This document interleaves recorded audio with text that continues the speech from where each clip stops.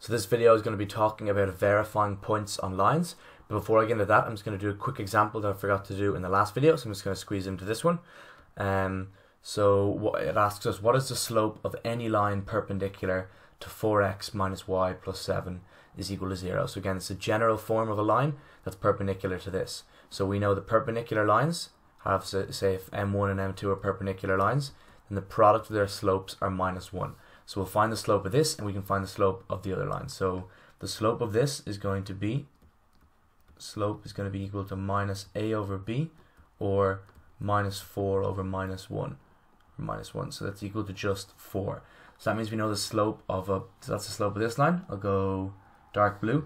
So I'll say, I'll say slope of perp line, so slope of a perpendicular line then, is going to be minus 1 over 4. So remember, you flip it. So technically, this could you could write this as uh, 4 over 1.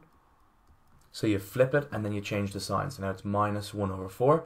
So that means the slope, I'll just do it over here. Yeah, I'll keep bright, bright blue. The slope, or sorry, the for the equation of any line that's perpendicular to this one is going to be y is equal to minus 1 over 4 x plus k. Yeah? Because k can be anything, and this is going to be perpendicular. So if you wanted to draw that out, this line would be, I don't know, it would be something like, so this is this line here, something like this. And then our line here, our perpendicular line, I'll go dark blue, can be any of these lines here, as long as it is perpendicular. Yeah? So it can be any of those lines. So that's what this question means. But anyway, I go back now to verifying that a point is on a line, which is going to be a really quick topic. So I will squeeze that in down here at the bottom. So here we have our question. Is the point 3, 5 on the line x minus 3y plus 12 is equal to 0 and 4x minus 7y plus 10 is equal to 0? Okay, so we're going to, the way you do this is by subbing in 3 into the x and 5 into the y. So we're just going to go ahead. It's just a quick method you need to be comfortable with. So for example, just write x minus 3y plus 12 is equal to 0. So that's going to be 3 minus 3 multiplied by 5 plus 12 is equal to 0. So that's going to be 3 minus 15 plus 12 is equal to 0. If you uh, put that in your calculator, you're going to get 0 is equal to 0. And that checks out. So that means that this point is on the line. Yeah, this point is on line. If you want to scroll down and I'll do the next one, 4x minus 7y plus 10.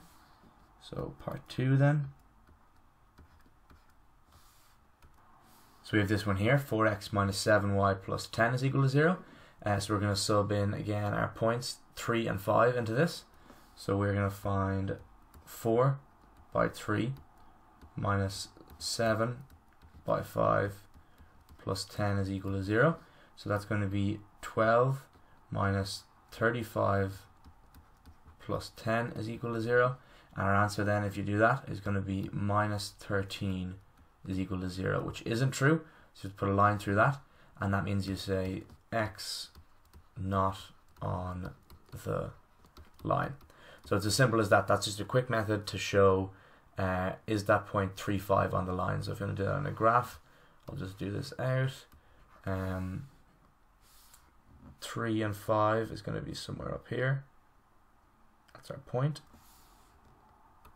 So there I just quickly scribbled it out. So this is our yellow line here. So x minus 3y plus 12 is equal to 0. So we see that it does hit the point 3, 5. I have a little kind of dot there. And then 4x minus 7y plus 10 is going to be our purple one here. And we see that it doesn't go through the little dot. So again, this is just more just to show. It isn't super important. But uh, yeah, that's a quick method you need to know. Uh, thanks for watching. Don't forget to like, like and subscribe if you like the videos. And the next video, we're going to look at the point of intersection of two lines. Again, it's still just revisions, but uh, it will get harder, I promise you.